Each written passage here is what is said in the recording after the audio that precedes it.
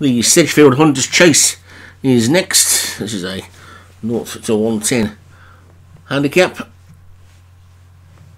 We're on the park course at Sedgefield this week. No actual Hunter Chase Field, and it's a two course. It's a two mile, four and a half furlong event. Countess Zenyatta, Paul Rhodes, Sakura Castles, Alex Cherry, Seagrave, Darren Thompson, Warbird, Paul Rhodes, Max, Alex Cherry, Salad Bar, Martin Lidham, Through the Valley of Jumps, Obi One, One Desta Fable, Daniel French, Clash William, Central, Padraig Hogan, and the victim, Stu Gray.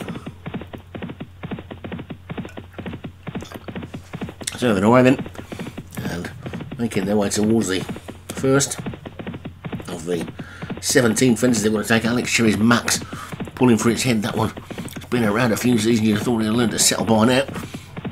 Through the valley of jumps that's going to jump in the lead, and they're all safely over the first, although Sakura Castles was a little bit untidy. So passing the winning post and the weighing room then, they will now swing out left-handed. The first of two complete circuits of the Sedgefield track and through the valley of jumps is in the lead. Leading by two to Max in second. Countess Zenyatta is third as they get over the next one. Mistake there by the grey. That was Countess Zenyatta. I see that one drop towards the back. Salad Bar is the one who's finding the pace just a little bit too hot at the back. Through the Valley of Jumps is the one setting it.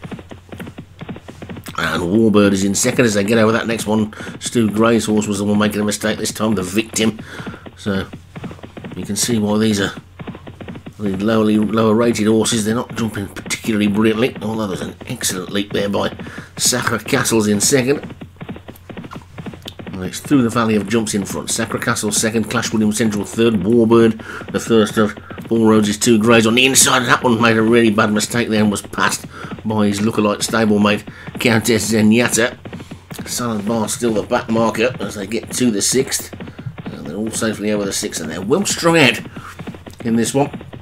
We're through the Valley of Jumps, clear by four or five to Clash William Central, Sakura Castles in third, One Desta Fables moved through into fourth, then Max and the Victim, then All the Leader made a real mistake there, hit that one hard, and has come back to the pack a little bit. Salad Bar's trying to move forward from the back and has possibly just going to go past Seagrave, also Countess Zenyatta for a couple of sketchy jumps is struggling towards the back, but through the valley of jumps is two lengths clear as they come to this ditch. And over that ditch they go, and it's through the valley of jumps from Sakura Castles. One Desta Fable looks to be going well in third. Clash William Central is fourth. Max on the outside is fifth. Then comes um, Warbird. Seagraves trying to run on. Countess Zenyatta on the inside of the victim, and Salad Bar is still out the back. So through the valley of jumps over that one in the lead as they come past the stand again past the big screen of the winning post in the weighing room and they swing out for one final circuit of the Sedgefield track and it's through the valley of jumps from one to Fable, Max and Sakura Castle, then Warbird who's now been switched to the outside, Clash William Central, going to try and go up the inside, that's the leading group, there's a gap of three lengths then back to Countess Zenyatta, Seagrave the victim and Salad Bar as they race down towards the next. Over that one they go. Again, one or two slow jumps towards the rear of the field, but it's almost three in a line up front through the valley of jumps. Max and one Desta Fable. And one Desta Fable in the centre might just be the leader now.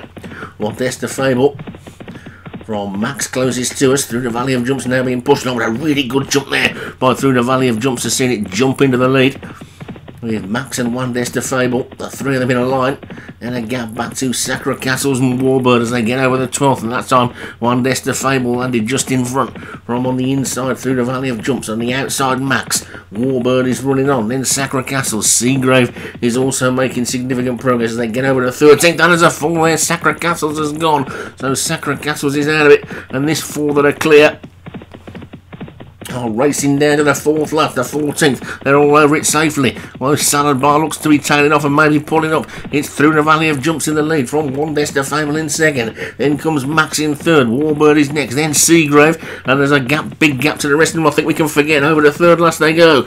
And it's one Desta Fable who's now gone two or three clear from Seagrave who's moved into second. Through the valley of jumps, he's trying to battle back. So too is Max. Warbird is beaten. They're racing down towards the final two then now. And it's one Desta Fable in the lead. One Fable over the final ditch in the lead. From Seagrave in second. Countess Zenyatta was a faller at the back. It's one Desta Fable from Seagrave and Max. coming down towards this final fence in there. It's one Leicester Fable, Seagrave. Max is coming through on the outside, finishing like an absolute train. Is Clash Williams Central through the Valley of Jumps. He's trying to get back into it. They come down to the final fence and a slow jump by the leader.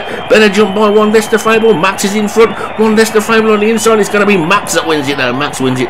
One Leicester Fable, second Clash Williams Central runner on to be third all the way back to Salad Bar who never got into it at all. And Max Max is out and wins it. Um, one Leicester Fable second, Clash Williams Central third. So Max the winner then for Alex Cherry. One Leicester Fable second for Daniel French. Clash Williams Central was third for Padraig Hogan. Through the Valley of Jumps for Obi-Wan Stuck on well to be fourth. And Warbird for Paul Rhodes was fifth.